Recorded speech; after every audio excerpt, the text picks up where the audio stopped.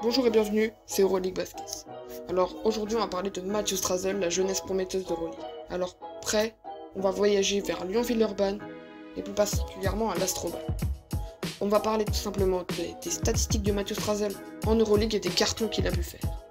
Alors Mathieu Strazel a évolué dans 4 championnats cette saison, le championnat Espoir, le championnat Espoir Euroleague, le championnat Jeep et le championnat Euroleague.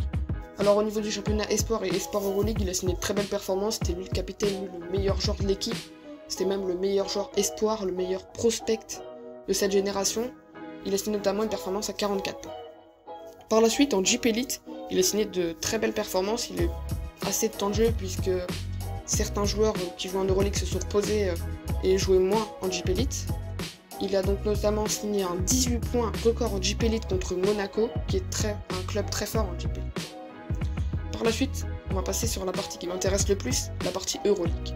Mathieu Razel a été est rentré pour la première fois en Euroleague le 29 octobre 2019. Il est rentré contre le Saski Basconia et a fait une performance de 9 points simplement en 13 minutes de jeu. Il a notamment signé un très beau 3 sur 4 à 3 points.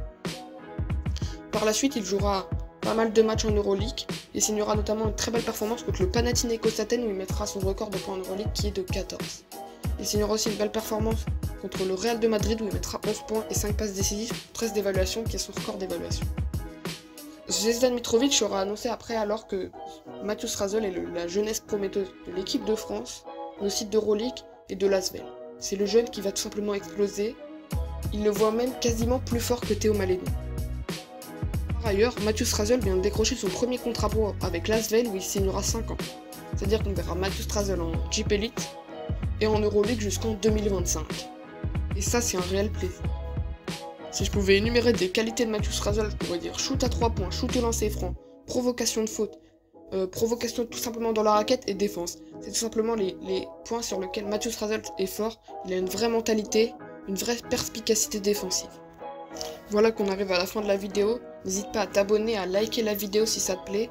Je ferai beaucoup d'autres formats sur euh, ce genre de prospect parce que ça m'intéresse vraiment, c'est l'avenir de l'Euroleague. Donc je vais peut-être parler de Théo Malédon, je vais aussi parler de Denis Avlija. Donc euh, lâche un like si ça te plaît et dis-moi euh, des idées de formats que je pourrais faire en commentaire.